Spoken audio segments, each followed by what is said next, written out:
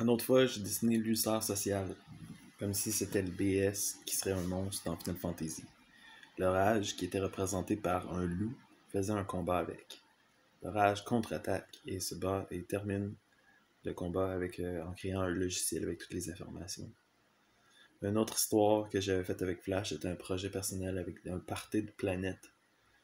Euh, comme si les personnages étaient des planètes. Un autre, c'était une fille qui marchait euh, avec une pancarte euh, et qui était nue.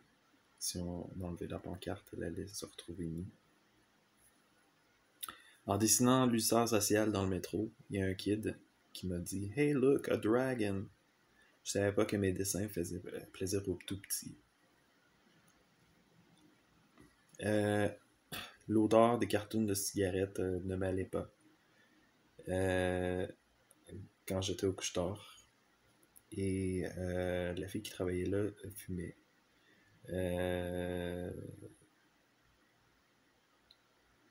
je faisais quelques caricatures comme les chips fluo. à la fin du sketch, le client me donnait un bec ou un bic, le lighter, mais il recevait un bec. C'était des dessins que je faisais dans ce temps-là.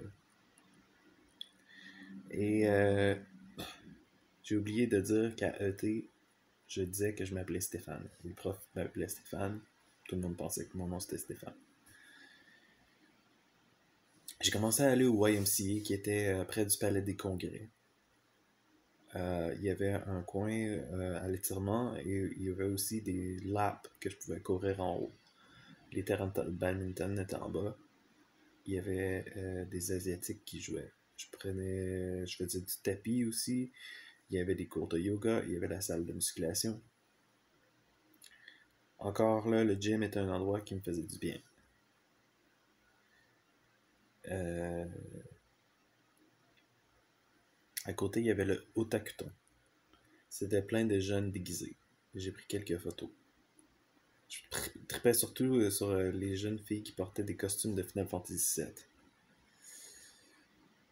Ma job au couche s'était terminé quand j'ai décidé d'aller à un Comic Con pour ma carrière artistique.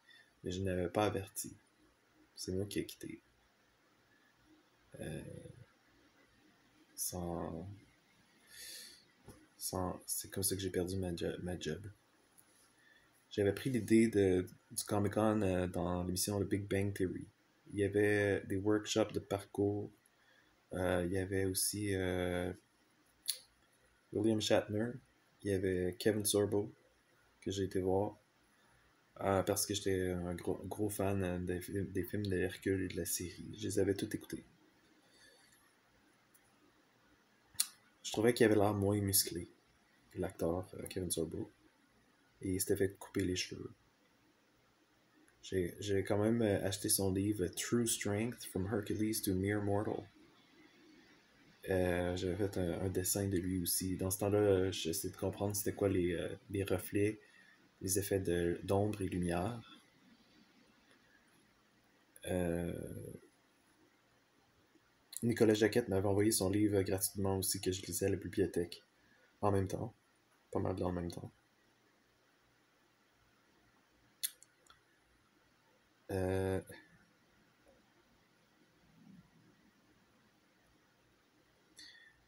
Montréal, Montréal-Nord, Montréal-Nord, de B2B et, et Couche-Tard, 2012 et 2013. Le bus prenait une éternité. Je pratiquais mes mouvements de danse avec le reflet que j'avais de moi-même dans les vitrines. Euh, mon cours, euh, mes cours avec euh, Ricardo était terminé. Et je commençais avec Sebastian Mersch. L'intro, euh, la chorégraphie qu'on apprenait, c'était Rihanna Love the Way You Lie. Et on se réchauffait sur euh, Carmen Broken Hearted ou, ou Ellie Goulding. Sebastian Mersch disait qu'il était tellement geek quand il, était, avait auditionné pour l'émission mais euh, que son parcours euh, l'avait aidé à devenir plus court. Il venait de l'Ontario et avait étudié en danse. Il me regardait comme qu'est-ce que j'ai de si spécial? Parce que il me challengeait dans son regard. Euh,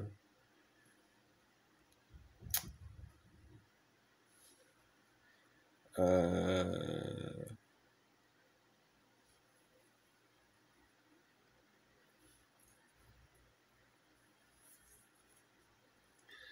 rendu euh, à l'école Bois de Boulogne, j'avais appris une chorégraphie de Ludacris How Can You Go.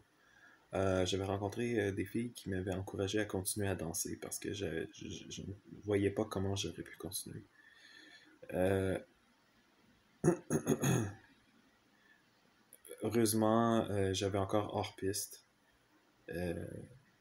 et mon objectif, mon objectif était de pouvoir me tenir sur les mains en équilibre.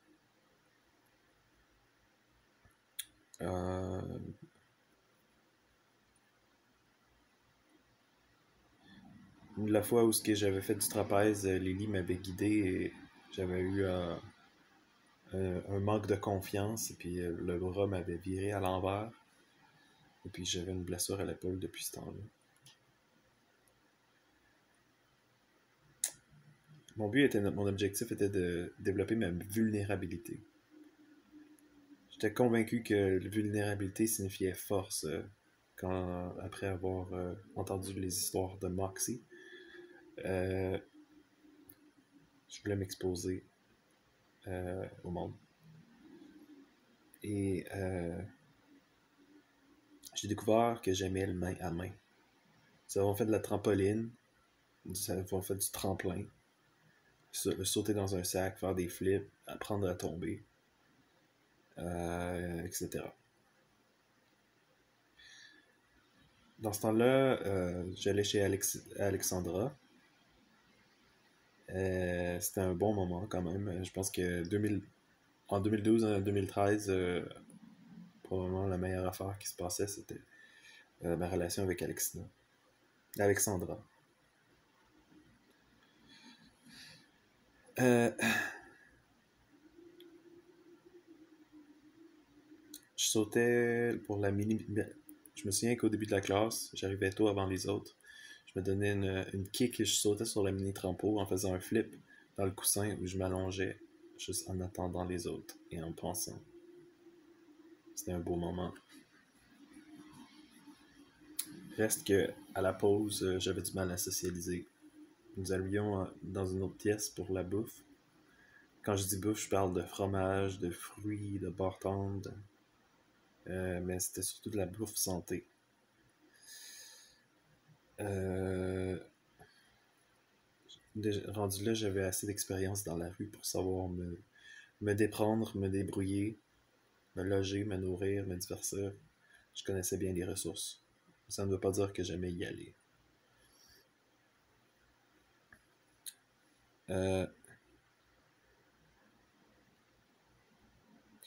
il y avait une section à hors-piste qui était interdite, on peut dire. Euh, où j'avais été marcher euh, sur des poutres en équilibre à différentes hauteurs du sol. Je m'étais laissé tomber d'un peu trop haut dans un coussin sur le cul. Et euh, mon dos faisait déjà mal dans ce temps-là. Et puis ça a juste empiré les choses. J'avais aussi ma blessure au genou après avoir fait pas mal de breakdance. Et ça me coupait la motivation d'y aller. Parce que je voulais pas m'empirer. Euh, j'allais au gym de, de Bois de Boulogne. J'avais demandé au gars euh, qui travaillait là d'évaluer ma blessure. Euh, il m'avait dit que c'était probablement chronique, donc ça n'allait jamais, jamais guérir. Je me souviens que quand je faisais la machine à jambes, c'était précipité par moi pour dire de, de, ne pas allonger mes jambes complètement parce que c'était pas bon pour mes genoux.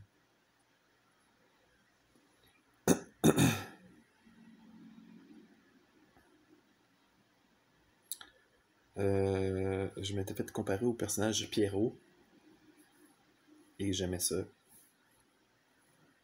Euh, il y avait un, move euh, au trapèze qui s'appelait le, le Pierrot aussi, que je réussis à faire. au cégep, j'avais choisi comme, comme choix de cours plongée. Là, il faut dire que je suis rendu à Montréal-Nord, donc j'ai changé complètement de quartier. J'étais plus euh, avec l'avenue. Schlaga, c'était rendu l'autre bout du monde. J'ai déconnecté de mes ressources, j'étais juste pris dans une chambre. Euh, puis euh, dans mon quartier, dans, mon, dans la section de mon quartier. Et là, j'avais été accepté à l'école et aussi au prêts et bourses au cégep Bois de Boulogne qui était censé être un très bon cégep. J'étais en sciences humaines. Donc, c'est ça le contexte. Euh, j'ai fait mon cours de plongée quand j'avais encore j'avais des mal de dos. Nos on avait nos tanks à oxygène à mettre. Il y avait des paliers à respecter, sinon tu peux t'éclater les veines à cause des changements de pression.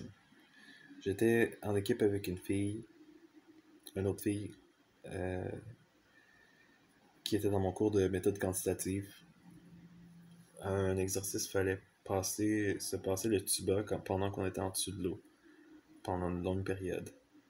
Euh, on est allé au fond de la piscine à 20 pieds sous l'eau. Et je me suis, je me suis agenouillé au fond de la piscine. C'est que aussi euh, la pression d'eau est tellement intense quand tu descends à cette profondeur-là qu'il faut que tu te fasses popper les oreilles.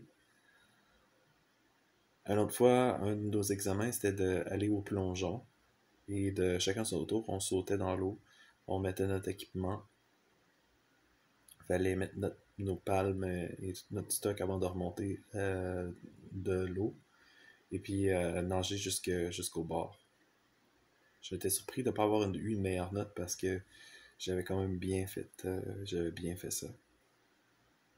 Il y avait beaucoup de risques dans ce cours-là et je me, je me suis surpris avec mon manque d'expérience en, en âge, je me suis surpris de, tout faire et faire des choses que j'aurais jamais pensé. Euh, à la fin euh, du cours, on avait eu des références si on voulait continuer en plongée. Euh, mais j'avais décidé de laisser faire parce que je pense pas qu'il y avait des beaux sites au Québec. il y avait aussi un côté pratique à l'examen écrit. Il y avait un autre couple qui s'est formé pendant le, pendant le cours. Je me demandais comment que ça s'était fait. On prenait une douche aussi euh, avant la piscine, puis euh, je mettais mon stock dans, mon, dans, dans, ma case avec mon cadenas. Euh, hors piste, j'avais essayé une corde aérienne. J'avais réussi à monter jusqu'en haut. C'était un autre réussite. Euh, c'était une carrière artistique qui s'ouvrait à moi. Et euh, les réussites me gardaient motivé. Euh,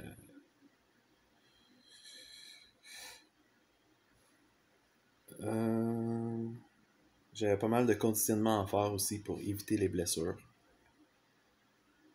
Mais ce n'était pas, nécessaire d'être super musclé par contre.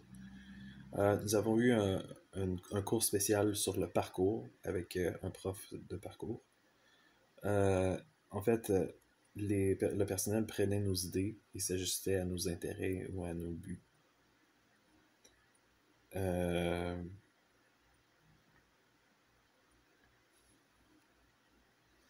Une personne, une fois, m'avait touché le dos à l'endroit où j'avais une scoliose, comme si elle ressentait que j'avais une faiblesse là. Euh, à la fin de nos séances, on s'assoyait en rond. On, on, se disait les bons coups qu'on avait faits. Comme quoi, moi je suis fier, j'ai réussi ça aujourd'hui. Et euh, on disait quel objectif qu'on avait pour le prochain cours. On se quittait en faisant sortir la poussière du tapis, voulant dire qu'on criait puis on frappait le, sol. J'étais fier de faire partie de l'un d'eux.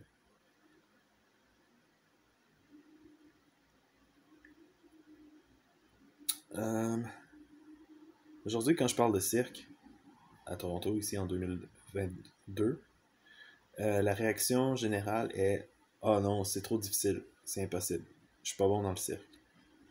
Euh, il y a beaucoup de jugements quand j'essaie de parler de ce, vécu. Mais dans ce temps-là, c'était les jeunes de la rue qui faisaient du cirque et t'as vraiment pas besoin d'avoir de l'expérience. mais les profs nous encadraient euh, on était encadré par les travailleurs, sociaux, on avait de l'équipement sécuritaire. Euh, l'objectif c'était de savoir comment bouger dans les barèmes de notre corps. Voulant dire apprendre à connaître les limites de son corps, et, mais quand même avoir euh, des défis pour pas que ça soit plate. C'était pas une question de faire le cirque du soleil. C'était même pas une question de réussir tel ou tel mouvement. C'était plus euh, un partage. Euh, les profs n'aimaient pas non plus ça que le but du programme soit de nous faire intégrer la société. J'avais été au lancement de Procan, du vidéo euh, du Fatal euh, de Keenan, puis de, la, de la bleue. dans un bar underground. Ça, c'était à TSF. Euh, une fille à TSF parlait de potes aussi, comme quoi tout le monde avait une mauvaise perception de qu'est-ce que c'était, que c'était une plante qui était très utile. On pouvait même s'en servir pour faire du textile. Elle mangeait des graines de chanvre. Elle disait que c'était euh, bon pour la santé. Ce qui m'avait fait euh, quitter le programme, justement, c'est quand un gars s'est mis à rouler et puis je pense que j'ai déjà, déjà dit. Si je me répète. Euh, on avait travaillé nos, styles d'entrevue d'embauche. Je m'étais vu euh, sur caméra parce qu'on m'avait filmé et euh, je m'étais surpris que j'avais l'air plus féminin que je pensais l'être. Peut-être que c'était pour ça que le monde m'appelait gay. Euh, mais c'était une identité, un look qu'il fallait que j'accepte et que je reconnaisse plus que, que, je change parce que sur la construction, je me donnais un air tough justement.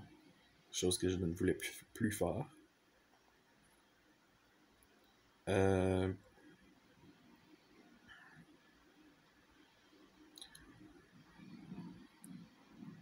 J'ai invité Alexandra euh, pour être une actrice dans mes sketchs et nous sommes allés euh, tourner euh, au rassemblement des Auberges avec la caméra du Rage. J'ai aussi fait le editing. Elle m'a filmé quand je jouais le cover de Eric Lapointe, n'importe quoi. J'avais le t-shirt black and blue avec un foulard et un truc rose au poignet. on, on, est allé au parc olympique et je lui ai raconté mes échecs en amour, la misère que j'avais eu euh, à rencontrer et euh, mes, expériences avec les gourous de l'amour et les livres de séduction.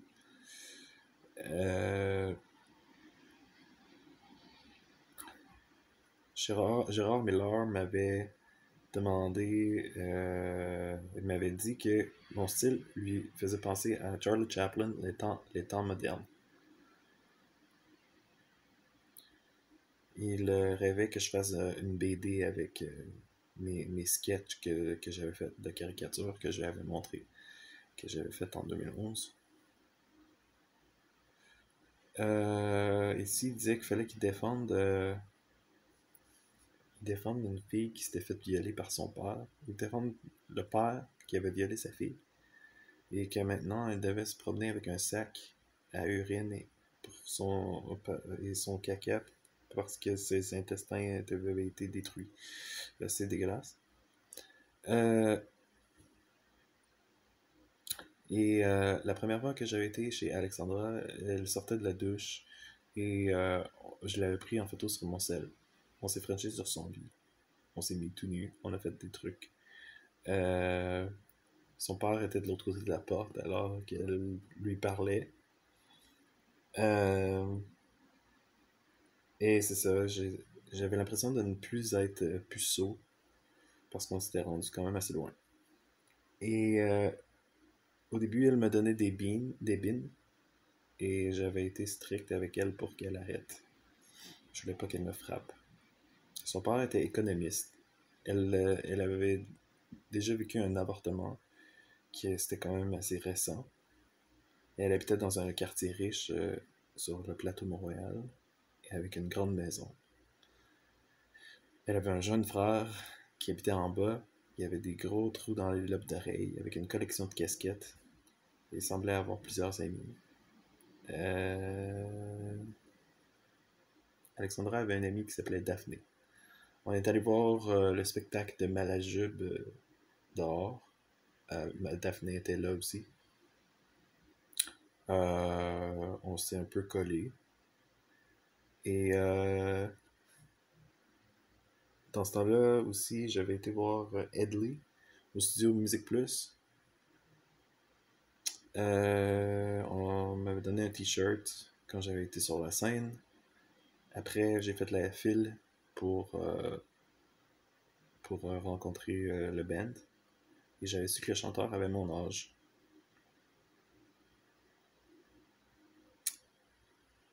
je me souviens que j'avais tourné le sketch de Secte Radio avec ce t-shirt de Musique Plus. Je me souviens qu'au volet 2 de Tous en scène, j'étais arrivé d'avance, il y avait un piano dans le coin de la pièce. Et euh, j'apprenais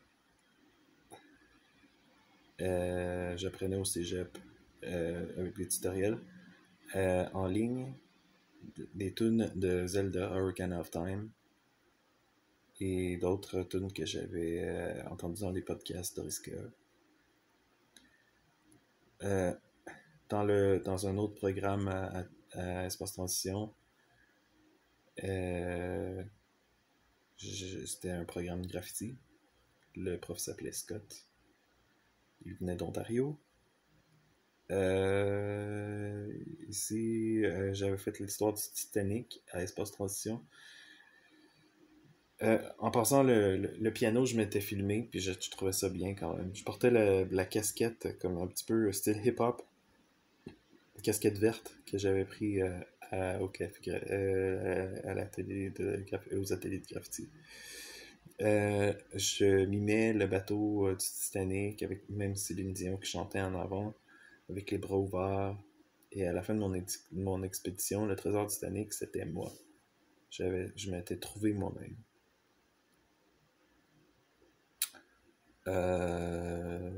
le spectacle, ça s'est bien passé.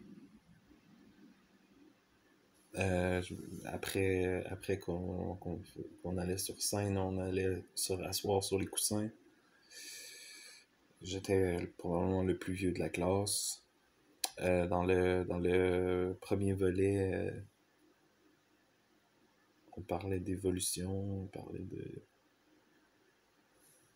comment on marchait comme des, des soldats. Et j'écriais up quand on enchaînait les étapes pour les, pour les, pour les accros. Mon duo avec euh, dans le deuxième volet, c'était euh, que je me perdais dans le bois avec euh, mon compagnon et on mangeait des champignons magiques qui nous transformé, qui m'avaient transformé en araignée géante, méchante, qui faisait du breakdance. Et j'avais fini en disant Je vais te bouffer le cerveau le prof, le prof trouvait ça bien drôle, mais moi je trouvais ça trop facile. C'était pas, on s'était pas vraiment forcé. Dans un autre duo, je jouais un pervers sexuel qui prenait en photo la fille. Euh, Alex, Alex était venu voir le show. Elle l'avait trouvé drôle, la, la, la, la, la chèvre. J'étais complètement une différente personne quand je quand je prenais un rôle. Euh, c'est ce que j'aimais.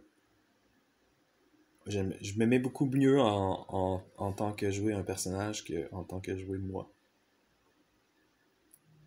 Euh, à un moment donné, j'avais donné euh, mon CV sur Mont-Royal et une femme était en train d'écouter l'album d'Adèle, qui était populaire dans ce temps-là. Adèle brisait les, les stéréotypes de l'image des célébrités populaires parce qu'elle était un petit peu grosse. Je m'étais inspiré d'elle pour faire La vieille plante bleue. Les citoyennes ont gagné une bourse de 5000 pièces avec le prix Jean-Pierre Boulanger pour la santé publique.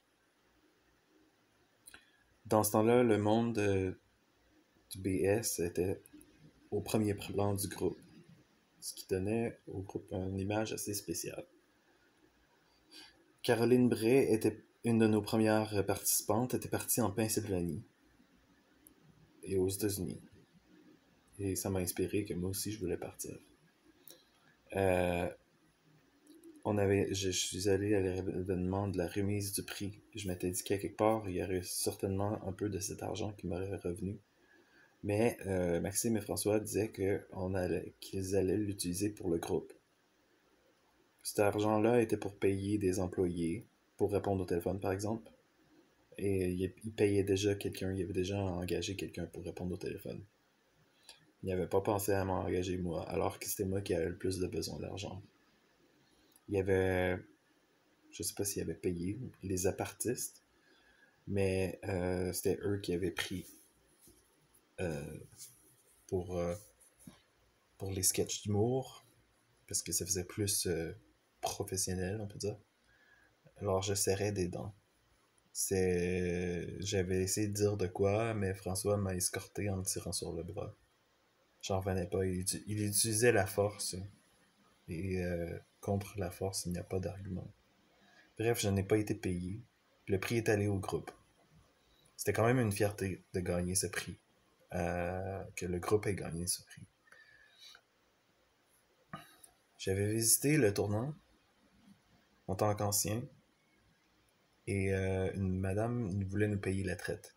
Elle nous avait amené à l'épicerie sur Sainte-Catherine. On pouvait s'acheter n'importe quoi qu'on voulait. L'épicerie a, augmenté a monté une facture de plusieurs centaines de dollars et c'était ça son cadeau. Par contre, rendu au tournant, j'ai su que c'était pour les résidents et pas pour les anciens. Alors, j'ai pas pu manger plus que ce que je, pouvais manger pendant la soirée.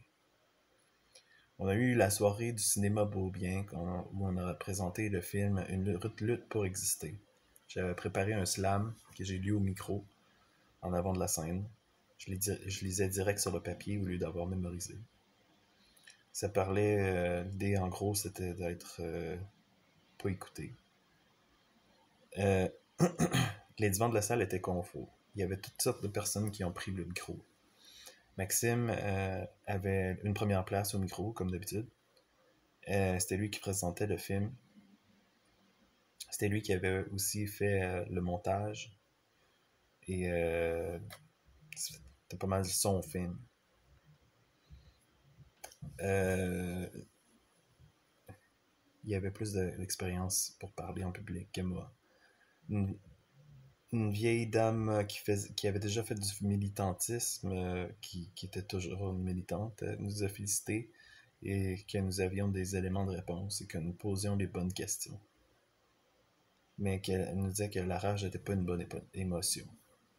Euh, il y a une autre personne euh, qui, euh, qui disait que la rage, ça l'avait aidé à prendre confiance en lui et à s'affirmer. La dame, c'était Nicole Jeté, je pense. Elle euh, parlait de l'écart entre la qualité de vie sur l'aide sociale et celle d'avoir une job au salaire minimum. Il dit que c'est important qu'ils ne rendent pas l'accès à l'aide sociale trop facile, sinon tout le monde irait. Il y avait de la, marchandise qui se vendait aux tables à l'entrée. Mélanie avait ses dessins qu'elle vendait. Il y avait euh, Et voici un autre exemple que j'ai pêché, sur Facebook d'un témoignage d'un client convaincu. Pensée de la nuit. Rage à Maxime Boucher.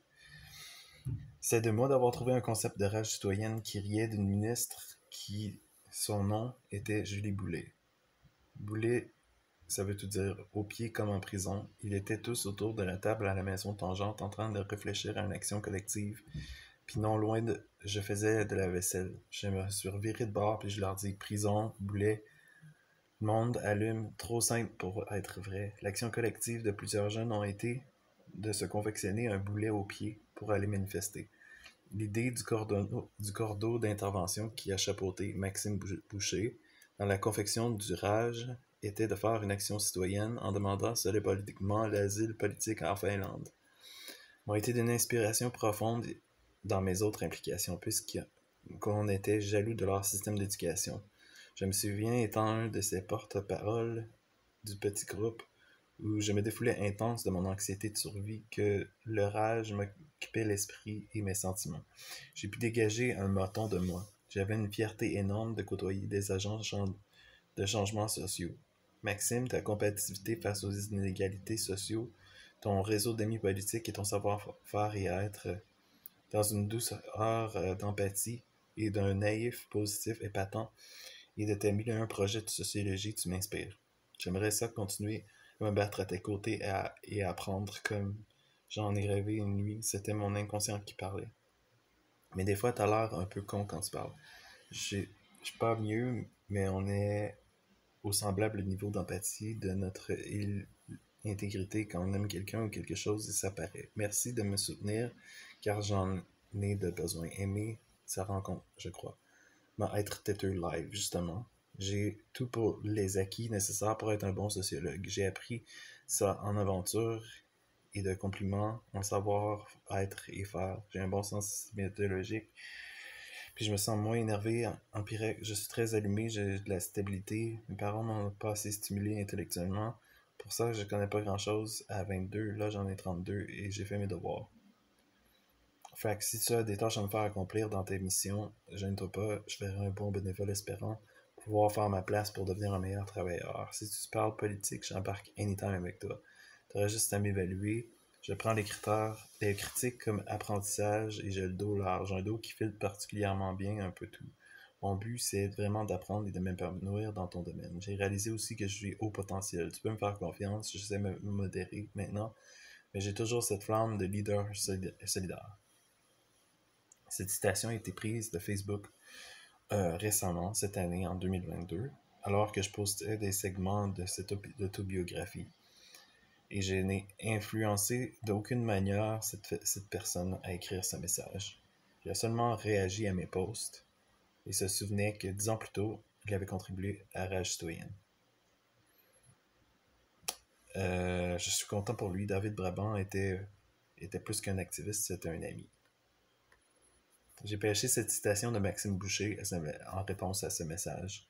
Haha, t'es pas le premier à me dire, à me le dire que j'ai l'air un peu con quand je parle, mais c'est généralement seulement une première impression. Elle est bonne, c'est vrai que tu avais eu une bonne idée avec les boulets, ça avait trop bien marché. Et tout le faux reportage qu'on avait fait avec toi comme chef d'antenne, c'était malade. Ça a probablement été la vidéo la plus sophistiquée qu'on a faite au, rage en termes de scénario, de montage, mis à part les capsules faites avec Cybercat contenait du dessin animé. Quelle époque! Je connais ton potentiel même. Si ça fait longtemps qu'on s'est vu, et j'espère que tu vas trouver un projet dans lequel tu sauras le mettre à contribution. Pour l'instant, contrairement au Rage, mes projets sont plus individuels. Je sais par contre que Myriam, qui était au Rage, coordonne maintenant le mouvement Jeune et Santé Mentale, et ça a l'air vraiment, bon ce qu'ils font. Peut-être que ça pourrait t'intéresser. Mouvement Jeunesse M.com. C'est pour dire que je suis pas le seul.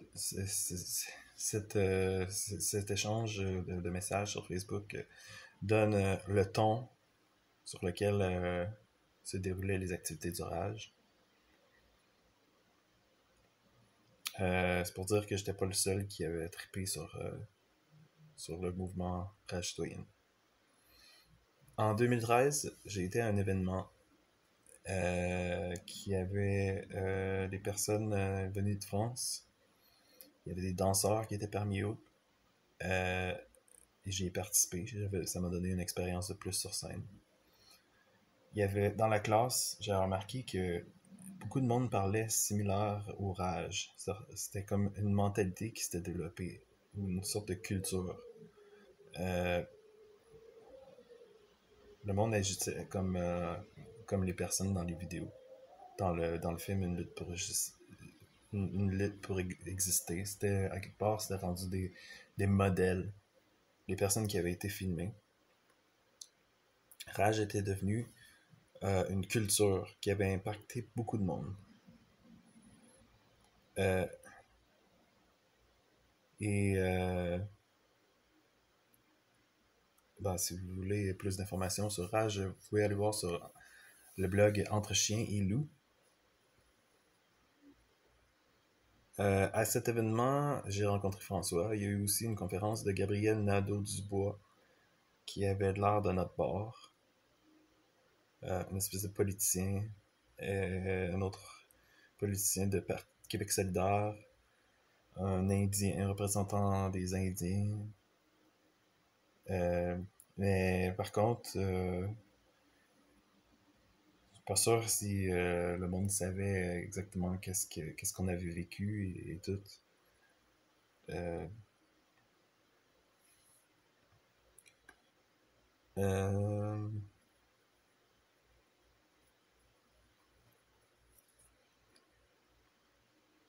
c'est ça. Et puis le, le monde sont repartis en France, donc ils ont amené ça, leur, les influences aussi de, de nous autres.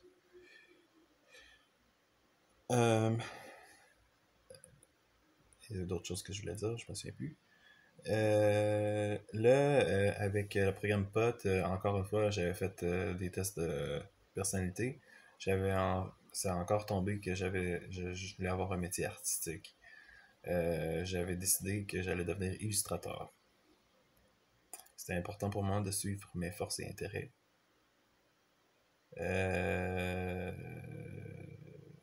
J'avais parlé à une fille euh, dans mon cours de yoga qui était diplômée de kiné concept en massage. C'était ce que je pensais peut-être que j'aurais pu faire plus tard, euh, après que j'ai eu 40 ans.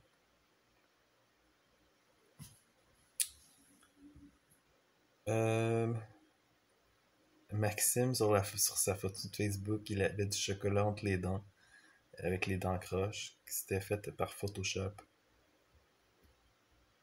Euh, il y a beaucoup de choses qui n'ont pas été capturées sur caméra, évidemment.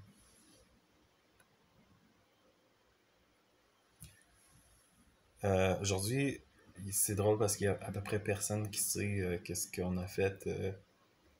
et c'est pour ça que je trouve que c'est tellement important d'en parler. Euh,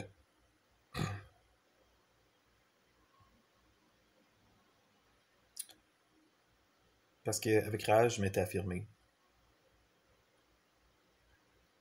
Euh, je m'étais trouvé en tant que personne.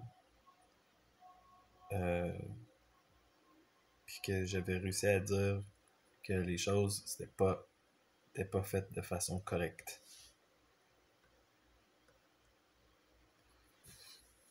Euh,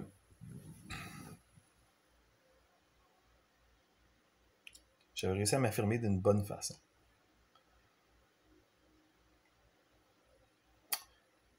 Euh, ici, c'était moi qui racontais ma version de, de l'histoire. J'avais ma propre version des faits, ma propre histoire. Euh, ça voulait pas dire que j'allais nécessairement être écouté. Mais euh,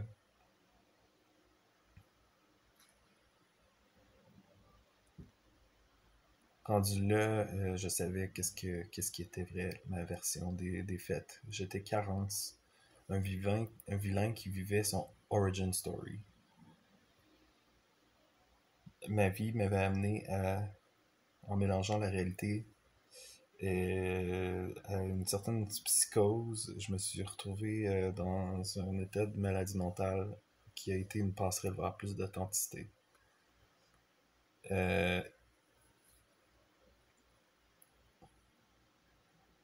Carence était devenu euh, un méchant. Un school shooter de la Polytechnique. Et parce que le monde le maltraitait. C'était des build-up d'émotions refoulées qui amènent vers le monde, le monde de des tueries.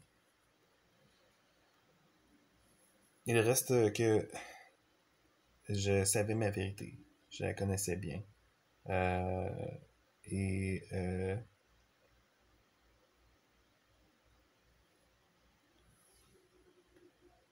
et euh, ça me dégoûte aujourd'hui, euh, en fait en 2022, quand je vous parle parce que je vois euh, que cette version des choses a été cachée, diminuée, mais ça ne change rien au fait. Avec Rage, on avait manifesté pour avoir des conditions, des meilleures conditions de logement. Euh, même, et euh, encore aujourd'hui, j'ai encore de la misère à avoir un logement euh, convenable. Mais maintenant, on, nous a enlevé le droit de manifester, on nous a séparés.